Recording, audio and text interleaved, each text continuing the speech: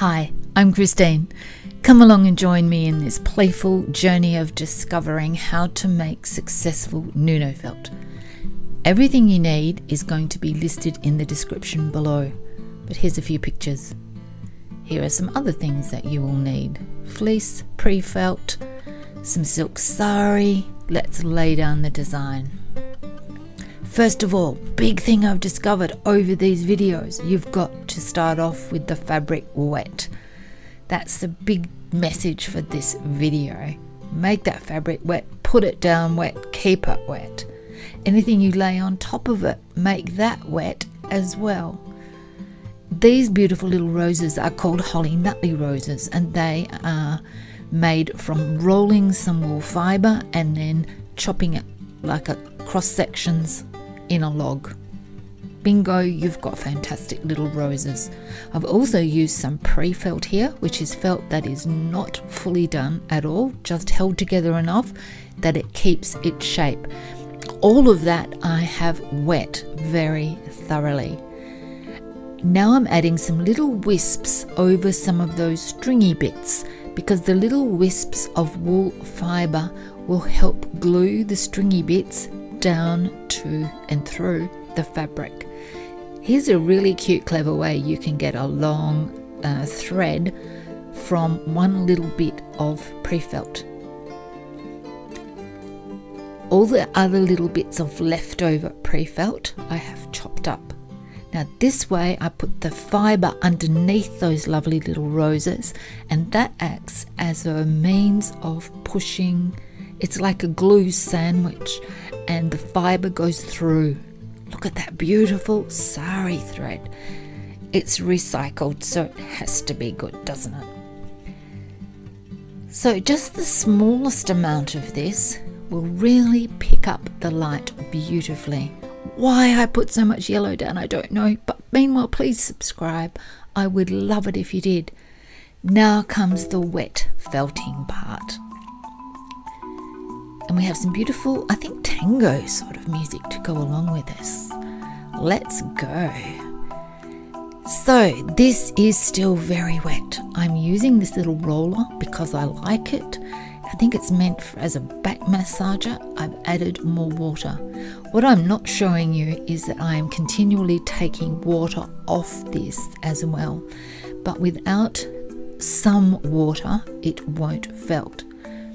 I heard the most amazing idea today from Judith, um, who is major felt maker, also happens to be my mother, who's 90.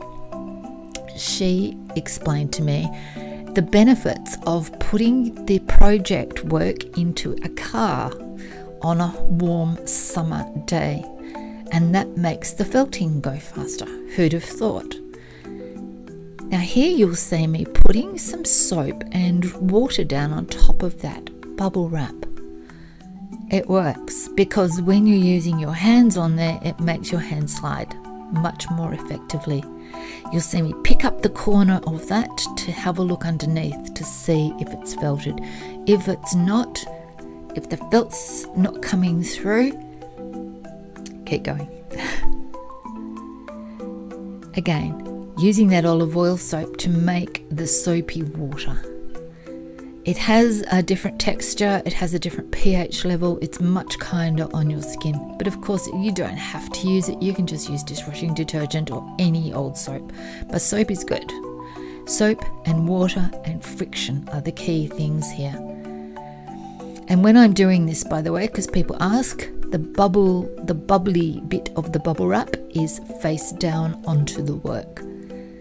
You can also use an electric sander. Don't move it backwards and forwards, but do it like I am here and just pick it up and then put it down on a certain patch and let it vibrate on that for 10 seconds, 10 15 seconds. Is this coming through? So, this is the wrong side. So, the answer is no, not yet, not really. Again, I'm using that little back massager because it leaves traces and I can see exactly where I've been. So here, so soaking up the extra water but also the extra soap on both sides. Look at that pink dye that's come out of the um, sari waste. Now we have a bit of a roll. So I'm showing this here. You can just roll it in the bubble wrap if you like. That's one good method.